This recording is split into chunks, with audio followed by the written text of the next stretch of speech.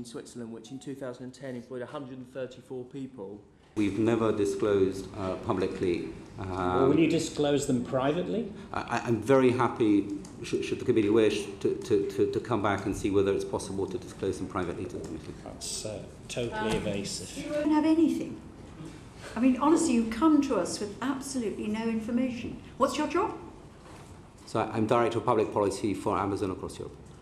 Well, I mean, I think what we we will continue this afternoon, but I think what we're going to have to do is order somebody to come who can give us answers to the questions Well, we I'm ask. very, I, I am and we will order somebody to appear before us who does that because it's just not acceptable. I don't think I don't know what you take us for. But But I- we're I not. You, you know, we need proper answers to perfectly proper questions which are trying to establish the economic activity in this country and therefore what would be a reasonable corporation tax due. That's our job.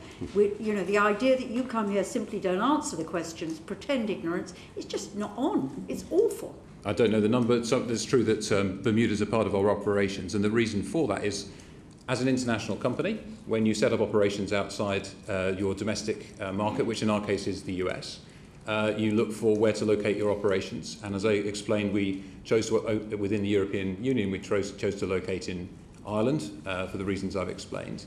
But also, uh, you need to protect your intellectual property and set up operations in, in countries around the world in order to do that. And we have an operation, uh, an entity set up in, uh, Okay. in Bermuda. Respectfully, I can assure you there's no tax avoidance here. We have a global tax rate of 33% around the world.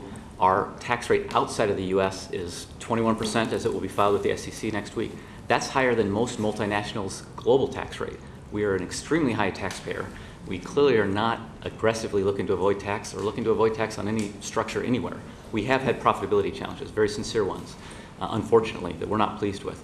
Um, but it is nothing, I assure you, nothing to do with any tax avoidance.